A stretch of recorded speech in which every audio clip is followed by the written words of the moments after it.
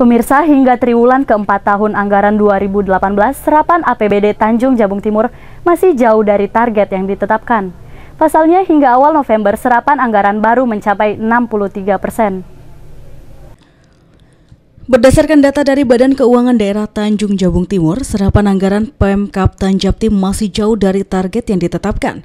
Sebab hingga triwulan keempat tahun anggaran 2018, serapan anggaran Pemkap Tanjabtim baru mencapai 63 persen.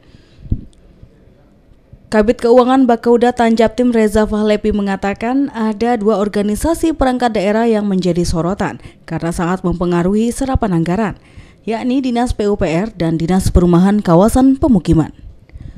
Menurut Reza, berpengaruhnya dua dinas tersebut dalam penyerapan anggaran lantaran keduanya memiliki progres pekerjaan fisik dengan anggaran yang cukup besar.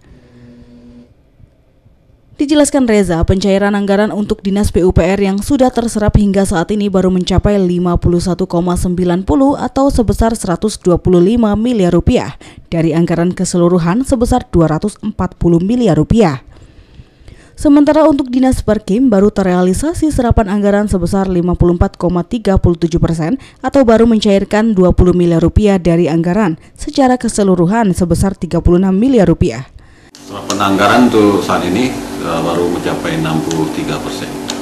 Hmm. Itu sudah keadaan sekarang seperti itu yang mempengaruhi serapan ini mungkin ada di dua SKP di PU dan Perkim itu yang hmm. baru mencapai sampahnya baru mencapai 54 persen rasa itu hmm.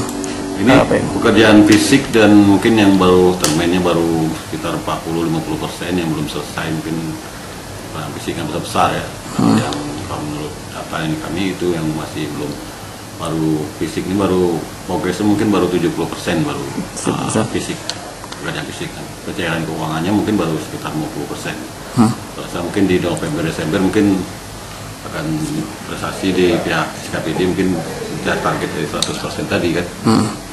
Eko Wijaya, Cek TV melaporkan.